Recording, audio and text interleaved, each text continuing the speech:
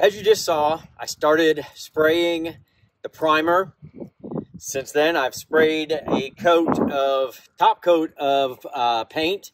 Got the uh, shiny white. Customer wants all white. We're going with all white. Now, I didn't cut the holes out for the uh, windows yet because I didn't want to have to mask everything off. So now I've got to uh, jigsaw this out. Then I've got to smooth it all up. Then I've got to work on the windows and get the butyl tape, get them put in, get them screwed in, get them looking good. All right, to get the jigsaw going, I've got to uh, drill some holes. So I'm going to drill some holes, get the jigsaw going.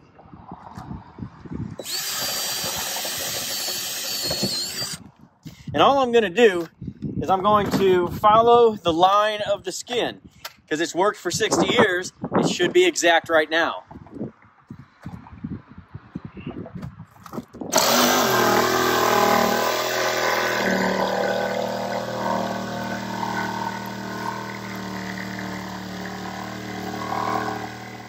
All right, we got the hole cut. As you can see, we got a test fit. Now we have got to add some butyl tape. Butyl tape, I'm telling you, it is the magic potion. This stuff is so sticky, it lasts for 30, 40 years if you put it on right. It's waterproof. So we're gonna apply it right here to this seal. I'm gonna get it on nice and tight. Gonna run the full edge to edge to end. We'll cut it right here.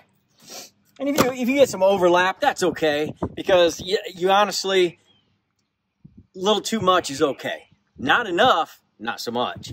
All right, so we're gonna kind of push this down because it likes to stick to the paper as well. So it, uh, you gotta kind of be careful, kind of pull it off here slow.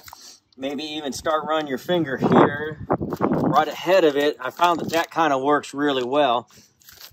Now we're gonna take this up. We're gonna stuff it right here in the hole. Maybe. Hopefully. We did test fit. There we go. That's good because it was a perfect fit. And now with that butyl tape, it's nice and tight before we even ever screw it down. So I'm gonna run some screws into it and we're gonna be ready to go.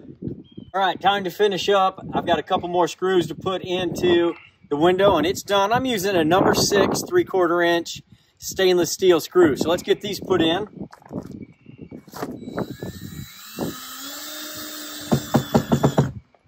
You can kind of see that we're going right through the butyl tape. So if you can see that butyl tape on the inside of that hole, you know that you're doing it right. So you see that little gray and then that's gonna push in real good and it's gonna pop it up at the top, which is okay. So that's nice and stout on that. Let's go ahead and put our eyebrow in while we're at it. We're gonna use the same screws. And I've already got the butyl tape installed. You can see where that one's going right through that butyl tape. These uh, screw holes are already in here in the metal, but not so much in the plywood. So we're gonna get good, let that one sit there. So it's gonna be good and tight once we get that put in there. So we get this in on this side. So as I was telling you, the butyl tape around the window stops it from leaking on the window. But, man, sometimes it rains sideways, you're having a bad storm, or whatever. Maybe it didn't get installed right. You can see this one's popping up, and that's perfect.